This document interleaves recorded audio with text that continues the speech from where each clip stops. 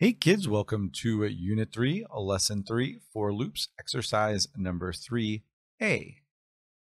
Much like our previous lesson, I am going to do one number example and one painter example.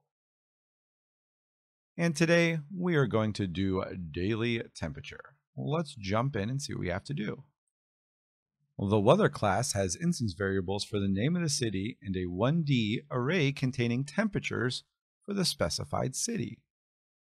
In weather.java, write the method getTemperatures to return a string containing the values in the instance variable temperatures.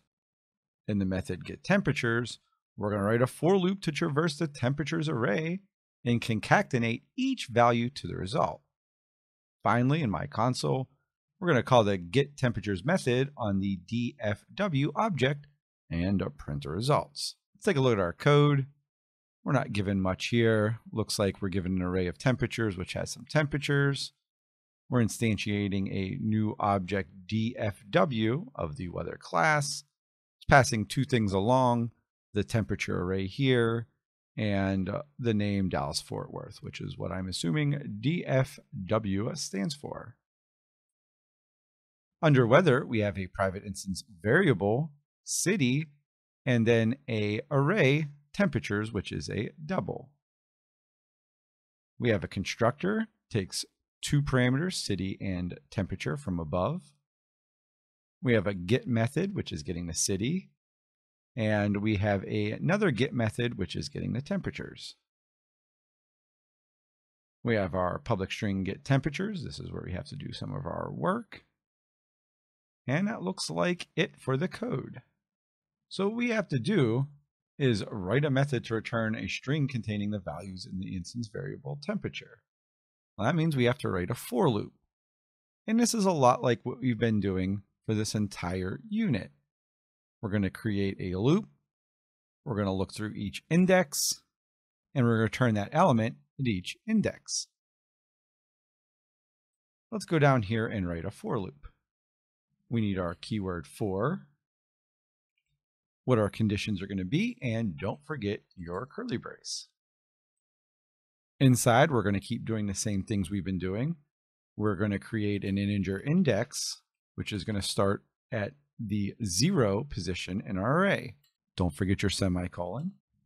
And as long as that index is less than, and we're going to traverse the temperatures so as long as we're less than temperatures dot length, we want to keep going. And then after every loop, we want our index to increment up one plus plus. And inside here, we want to return a string containing the values in the instance variable from above, which is temperature. And if you look, we're returning results. So we want result to equal, and again, we could do result equal result plus, or we could just do plus equal. We want the temperatures at each index.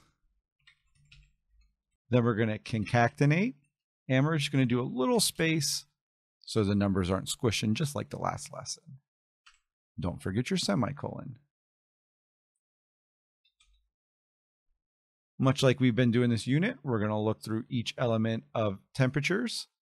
At each element, we're going to add that to results.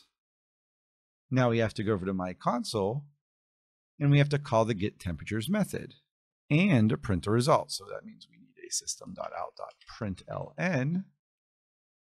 And inside here, we want to call the get temperatures. But from what object? A DFW object and we want to call that get temperatures method that we just created.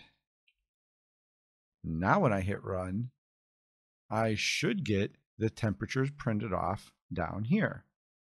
Well, let's see if we're right, kids. And there you go. We got our temperatures to print off.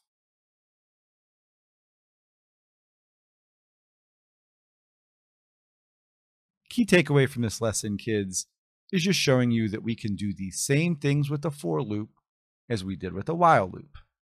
It's important to note the anatomy of a for loop here. We have for, In a while loop, we created our index outside of the loop. This time we declare it within the condition. So in our integer index is going to be equal to zero. As long as that index is less than whatever array we're searching through, we want to do something. And that's our statement. After that, we want to increment up. But how we increment up is within that declaration statement in our for loop condition. Again, it's helpful to see that there really isn't much difference between a for and a while loop. Just the reason we'd use one. For, we know how many times we want it to run, while we don't. Hopefully, kids, this video helped you understand for loops. As always, if you have any questions, come see me. Otherwise, I'll see you on the next video. See you later, kids. Bye. Bye.